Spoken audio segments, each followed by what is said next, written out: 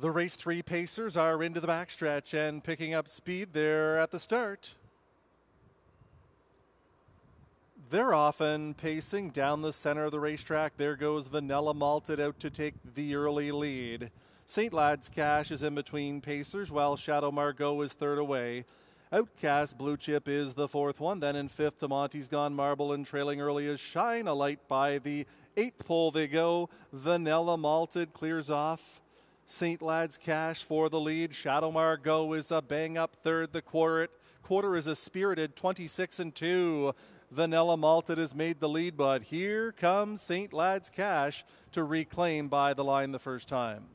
Shadow Margot sits in third. Outcast Blue Chip is the fourth one. Monty's Gone Marble is patiently waiting from fifth. Shine a Light is in sixth. On the way to the half they go.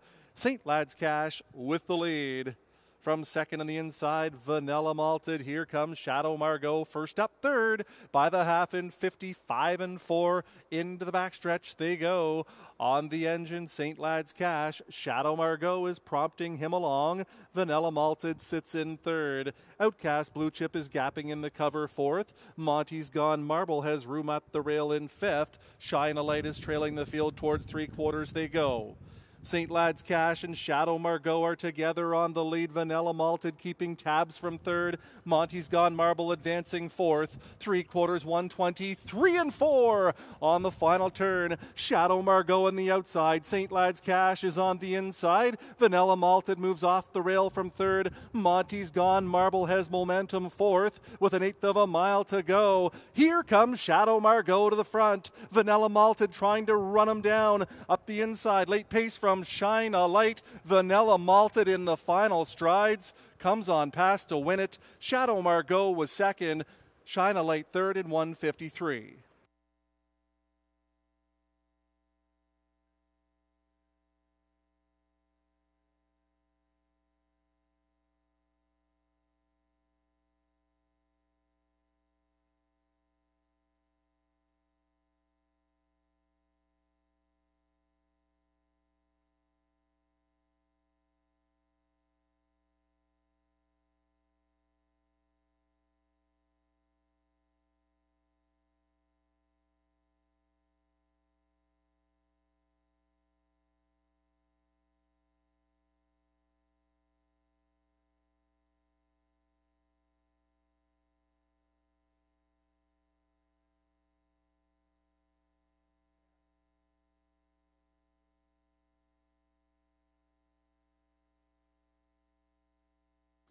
Five Vanilla Malted, the winner. One Shadow Margot, second. Four Shine a Light, third. Two St. Lad's Cash, fourth. Five, one, four, two, your top four in race three.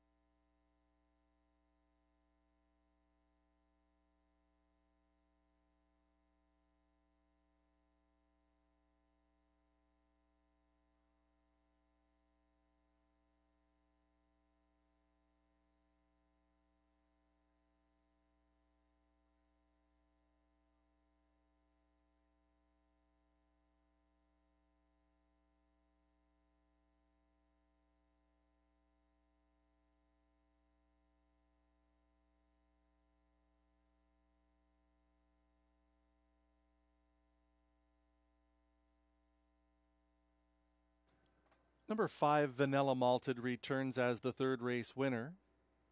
He's a six year old bay gelding by Sweet Lou out of Sun and Moon by Artsplace, owned by Colleen and Glenn Pearson's numbered company, along with John McMillan. Was driven to victory by Guy Gagnon, Vanilla Malted in 153, 26 and 2, 55 and 4, 123 and 4, the mile in 153 flat.